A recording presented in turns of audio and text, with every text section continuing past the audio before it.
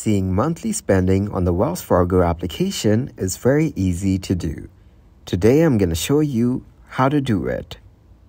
My Spending Report is a tool that is the most comprehensive way to track your spending. It automatically categorizes all your Wells Fargo transactions, including debit card purchases, ATM withdrawals, checks, and bill payments. You can see your spending by category, merchant, or date range. You can also set budget goals and track your progress over time. Here's how to access My Spending Report. Open the Wells Fargo mobile application. Tap the menu icon in the top left corner. Then, tap on My Money Map. Now tap on My Spending Report. The second option is Budget Watch. This tool helps you create and track your budget.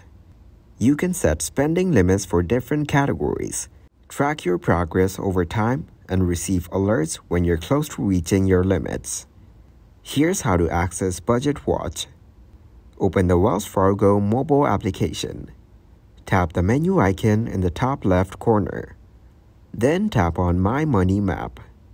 Now tap on Budget Watch. The third option is Transaction History. You can view your transaction history by account or date range. This is a good way to see all your transactions in one place, but it doesn't categorize your spending. Here's how to access your transaction history. Open the Wells Fargo mobile application. Tap the account you want to view.